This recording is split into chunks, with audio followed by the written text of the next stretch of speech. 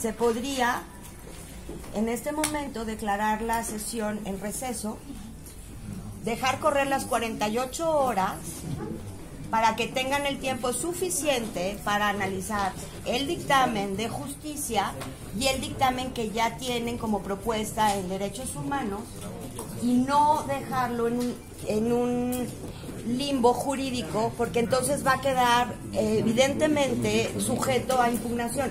Sé que puede soñar chocante, sé que para ustedes representa invertir tiempo. No venimos otra vez a tiempo Pero al final del día, creo que los esfuerzos tienen que ser eh, apegados a, a- a lo que marca, digamos, el, el protocolo dentro del Congreso para darle certeza jurídica. Si no, vamos a trabajar en, van a trabajar en vano.